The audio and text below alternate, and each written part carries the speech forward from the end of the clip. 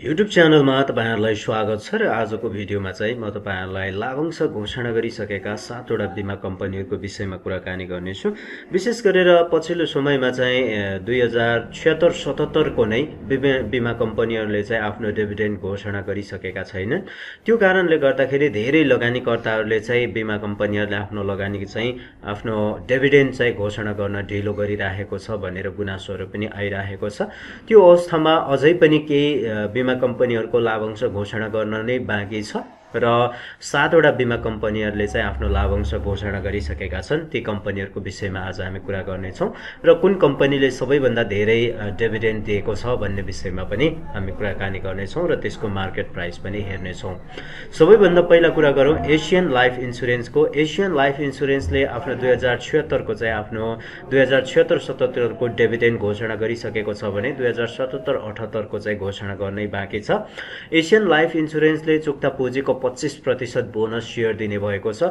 यदि तपाईँसँग Asian life इन्सुरेन्सको चाहिँ किता सेयर छ भने तपाईँले पच्चिस किता चाहिँ बोनस सेयर खान पाउनुहुनेछ।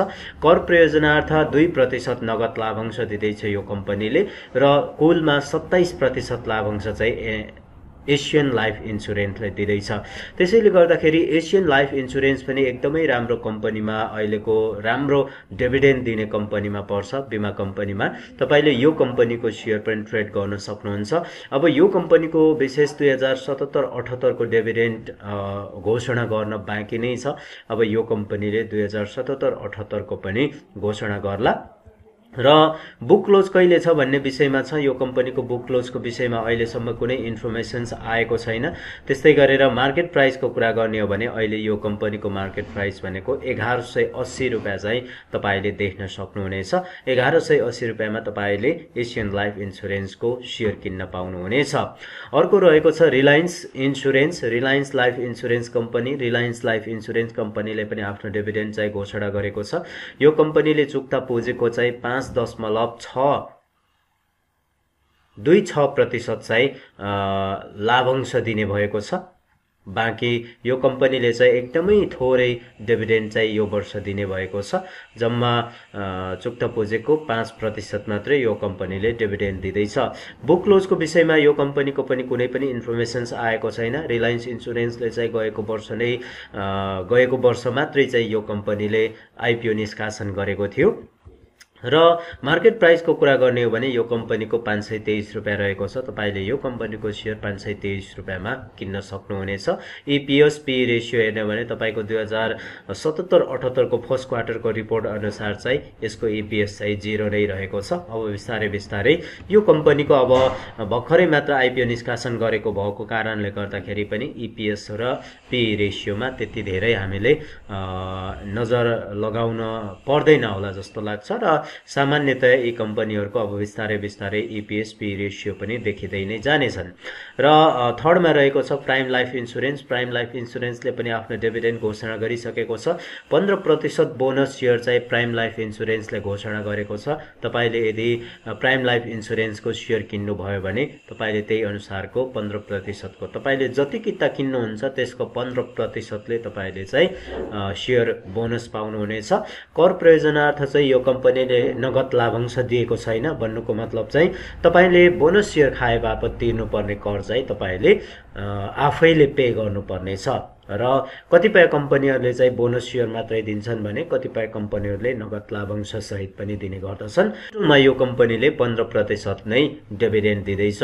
यो कम्पनीको बुक क्लोजको विषयमा पनि अहिलेसम्म कुनै पनि इन्फर्मेसन्स आएको छैन। अब राष्ट्र ब्याङ्कको स्वीकृति पाए पाए पश्चात चाहिँ यी कम्पनीहरूले आफ्नो बुक क्लोज मिति तोक्नेछन्।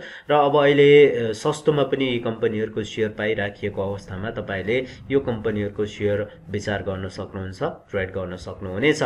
मार्केट प्राइसको कुरा गर्ने हो भने सात सय तेइस रुपियाँ रहेको छ यो कम्पनी। इपिएस र पी रेसियोको दुई हजार अठहत्तर उना अस्सीको फर्स्ट क्वार्टरको रिपोर्ट अनुसार चाहिँ इपिएस र पी रेसियो यसमा पनि जेरो नै देखिएको छ। अर्को रहेको छ Surya life insurance. Surya life इन्सुरेन्सले बाह्र दशमलव सत्तरी प्रतिशत बोनस सेयर दिने भएको छ भने शून्य दशमलव छ छ सात आठ प्रतिशत नगद लाभांश दिने भएको छ। टोटलमा यो कम्पनीले तेह्र दशमलव तिन छ प्रतिशत चाहिँ लाभांश दिने भएको छ। सूर्य लाइफ इन्सुरेन्सको पनि अब तपाईँले तेह्र प्रतिशत डेभिडेन्ड खान चाहनुहुन्छ भने चाहिँ तपाईँले यो कम्पनीको सेयर पनि हेर्न सक्नुहुनेछ। बुक क्लोजको विषयमा यो कम्पनीको पनि कुनै इन्फर्मेसन छैन र मार्केट प्राइस हेर्ने हो भने सात सय बहत्तर रुपियाँ यो कम्पनीको मार्केट प्राइस रहेको छ। अहिले तपाईँले किन्नुभयो भने यो कम्पनीको मार्केट प्राइस सात सय बहत्तर सात सय बहत्तर रुपियाँ पर्नेछ। र अर्को रहेको छ Jyoti life insurance. Jyoti life इन्सुरेन्सले पनि गएको वर्ष मात्रै आफ्नो आइपिओ निष्कासन गरेको थियो। यो कम्पनीले पनि आफ्नो डिभिडेन्ड घोषणा गर्ने भएको छ। ज्योति लाइफ इन्सुरेन्सले पाँच प्रतिशत बोनस सेयर र पाँच दशमलव पाँच दुई प्रतिशत चाहिँ नगद लाभांश यो कम्पनीले दिने भएको छ। टोटलमा दस दशमलव पाँच दुई प्रतिशत चाहिँ नगद लाभ पाँच दुई प्रतिशत चाहिँ टोटलमा डिभिडेन्ड दिने भएको छ। पाँच प्रतिशत सेयर र पाँच प्रतिशत नगद लाभांश चाहिँ ज्योति लाइफ इन्सुरेन्सले दिने भएको छ। अब ज्योति लाइफ इन्सुरेन्सले गएको वर्ष मात्रै आइपिओ निष्कासन गरेको थियो। त्यो तर यो वर्ष यो कम्पनीले दस दशमलव बाहन्न प्रतिशत डिभिडेन्ड दिएको छ। यो दुईवटा डिभिडेन्ड चाहिँ विशेष दुई वर्षको डिभिडेन्ड हो। दुई हजार छिहत्तर सतहत्तर र दुई हजार सतहत्तर अठहत्तरको यो कम्पनीले डिभिडेन्ड दिने भएको छ।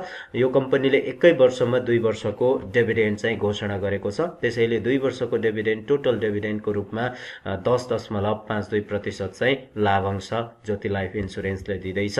र बुक क्लोजको विषयमा पनि यसको पनि कुनै इन्फर्मेसन्स आएको छैन। मार्केट प्राइस हेर्ने हो भने छ सय पैँसठी रुपियाँ यो कम्पनीको मार्केट प्राइस पर्छ। यदि तपाईँले दस प्रतिशत डेभिडेन्ड खान चाहनुहुन्छ भने यो कम्पनीको छ सय पैँसठी रुपियाँ कितामा तपाईँले सेयर किन्न सक्नुहुनेछ। अर्को लाइफ इन्सुरेन्स रहेको छ Gurans life insurance. Gurans life इन्सुरेन्सले पनि पाँच दशमलव सात आठ नौ प्रतिशत चाहिँ लाभांश दिने भएको छ। यो गुराँस लाइफ इन्सुरेन्सले पनि थोरै लाभांश दिने भएको छ यो वर्ष। गएको वर्ष अथवा अब आगामी दिनहरूमा चाहिँ यो कम्पनीहरूले बिस्तारै बिस्तारै प्रगति गर्दै जाला र बिस्तारै बिस्तारै डेभिडेन्ड रेसियो पनि बढाउँदै जानेछ। हिजोको दिनमा एसियन लाइफ इन्सुरेन्सहरू पनि त्यस्तै थिए होइन? सामान्य नै थिए तर आज एकदमै राम्रो भइसकेको छ। त्यसैले हरेक कम्पनीले बिस्तारै बिस्तारै प्रगति गर्दै जान्छ। त्यसैले गर्दाखेरि अहिलेलाई तपाईँले एकदमै कम डेभिडेन्ट छ तर पनि सेयर मार्केट पनि यसको मार्केट प्राइस पनि सस्तो नै रहेको छ। बुक क्लोज कहिले भन्ने विषयमा यसको पनि खुलेको छैन। मार्केट प्राइस तपाईँले यो कम्पनीको पाँच सय चौरात्तर रुपियाँ रहेको छ। तपाईँले पाँच सय चौरात्तर रुपियाँ किता यो कम्पनीको सेयर किन्न सक्नुहुन्छ। विशेष लाइफ इन्सुरेन्स सेक्टरहरू अहिलेसम्म बढेको छैन होइन? बढ्न बाँकी नै छ बिस्तारै बिस्तारै अब मा लाइफ इन्सुरेन्स सेक्टरहरू पनि बढ्छ भन्ने कुराहरू पनि आइराखेको छ। र अर्को इन्सुरेन्स रहेको छ लाइफ कर life insurance corporation Nepal. Life insurance corporation Nepal अथवा यसलाई अब तपाईँले सिम्बोलिक भाषामा एलआइसी भनेर पनि भन्न सक्नुहुन्छ। एलआइसीको बाइस प्रतिशत बोनस सेयर रहेको छ भने एक दशमलव एक पाँच प्रतिशत चाहिँ नगद लाभांश गरेर टोटलमा तेइस दशमलव पन्ध्र प्रतिशत लाभांश एलआइसीले वितरण गर्दैछ। तपाईँले यो कम्पनीको सेयर पनि ट्रेड गर्न सक्नुहुन्छ। बुक क्लोजको विषयमा यो कम्पनीको पनि कुनै इन्फर्मेसन्स आएको छैन। मार्केट प्राइस हेर्ने हो भने यो कम्पनीको दुई हजार दुई हजार आठ रुपियाँ रहेको छ। यदि तपाईँसँग तपाईँले चाहिँ यो एलआइसी कम्पनीको डेभिडेन्ड खान चाहनुहुन्छ भने चाहिँ तपाईँले दुई हजार आठ रुपियाँ किता चाहिँ यो कम्पनीको सेयर किन्न सक्नुहुनेछ। र यी जति पनि मैले तपाईँहरूलाई सातवटा बिमा कम्पनीहरूको बारेमा मैले भने सबैभन्दा उत्कृष्ट चाहिँ मलाई एसियन लाइफ इन्सुरेन्स लाग्यो। किनभने डिभिडेन्ड रेसियो पनि हाई छ र मार्केट प्राइस पनि एकदमै सस्तो रहेको छ। पाँच पर्सेन्ट डिभिडेन्ड दिएका कम्पनीहरूको मार्केट प्राइस हेर्ने हो भने तपाईँको सात सय आठ सय परिराखेको छ। दस पर्सेन्ट दिनेहरूको बाह्र पर्सेन्ट दिनेको सात आठ सय परिराखेको छ भने एसियन लाइफ इन्सुरेन्सले तपाईँ तपाईँलाई सत्ताइस पर्सेन्ट डिभिडेन्ड दिँदा पनि तपाईँले एघार सय रुपियाँमा तपाईँले यो कम्पनीको सेयर पाउँदै हुनुहुन्छ। एलआइसीको तेइस पर्सेन्ट डिभिडेन्ड छ तर एकदमै महँगो तपाईँले यो कम्पनीको सेयर पर्छ दुई हजार होइन? तपाईँले दुई हजार तिरेर तेइस पर्सेन्ट डिभिडेन्ड खानुभन्दा एघार सय अस्सी रुपियाँ तिरेर तपाईँले सत्ताइस पर्सेन्ट डिभिडेन्ड खानु चाहिँ उत्कृष्ट हुन्छ। त्यसैले यदि तपाईँले यी कम्पनीहरूमा मेरो फेभरेट मान्नुहुन्छ भने चाहिँ म एसियन लाइफ इन्सुरेन्सलाई मान्दछु। यो नितान्त शिक्षामूलक मात्रै भिडियो हुनेछ कुनै पनि लगानी सुझाव भने होइन। युट्युब च्यानलमा नयाँ हुनुहुन्छ सब्सक्राइब गर्नुहोस्। साइडमा रहेको बेल बटनलाई क्लिक गरिदिनुहोस्। Thank you so much